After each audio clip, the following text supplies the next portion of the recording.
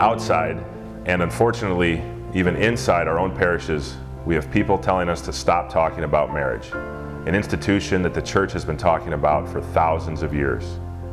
They say that if we stand up and talk about the natural definition of marriage, that we are somehow being mean or bullies. Supporting the basic rights of children and the authentic rights of people with same-sex attraction are not mutually exclusive, and we must resist the forces that are telling us otherwise.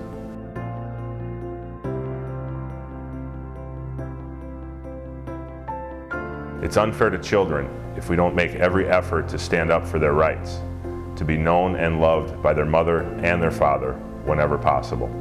While divorce, death, and other circumstances too often prevent it, no child should be intentionally deprived of knowing their mother and their father.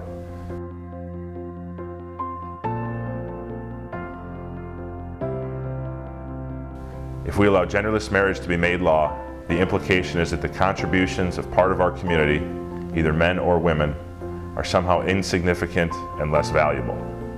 I can put up with a lot from the government, like higher taxes, and while I don't like it, pushing God out of public schools, but letting a small number of business and government elites and judges define what marriage is for Minnesotans doesn't seem very fair and doesn't make a lot of sense.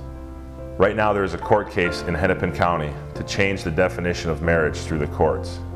It's the same type of case that happened in Iowa before marriage was redefined there.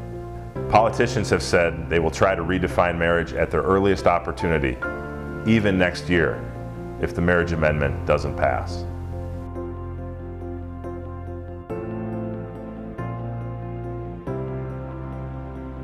Our culture today of moral relativism attacks marriage and a lot of our Catholic values. But marriage is a foundation of our society and is definitely something worth fighting for. Uh, my marriage and, and the institution itself. And um, you know, a lot of people say, live and let live, uh, let everybody do what they want. But uh, this is too important of an issue to do that on we need to stand up and, and fight for it and, uh, and preserve it for, for our sake, for our children's sake, and for the sake of our entire society. The state should have laws to protect marriage because it was around long before the state came around. Um, I don't think it's their place to, to redefine it.